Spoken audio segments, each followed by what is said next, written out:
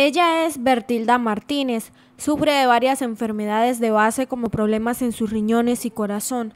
Asegura que para estar bien de su salud requiere estar periódicamente en controles con exámenes que hoy no puede pagar debido a que su CISBEN al parecer no los cubre. Presenté al CISBEN que me hiciera el favor y me fuera a clasificar.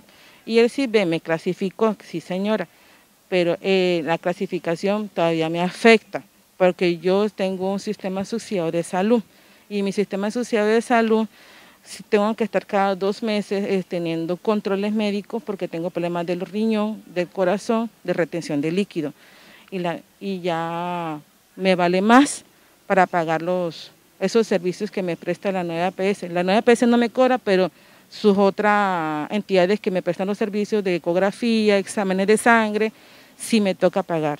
Ella asegura que aún con la clasificación de su CISBEN no es suficiente para cubrir la totalidad de todos los exámenes que los médicos le recetan.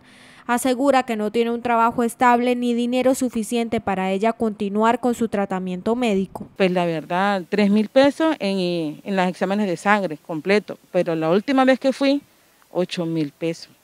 Me fui al examen de mi ecografía de mis riñones, trece mil ahora subió a 60 y pico mil de pesos, mami. Entonces, no tengo ese dinero, la verdad, no tengo para, entonces control, para mis controles médicos. Y todavía me falta un control mucho más riguroso que yo tengo problemas también de cáncer.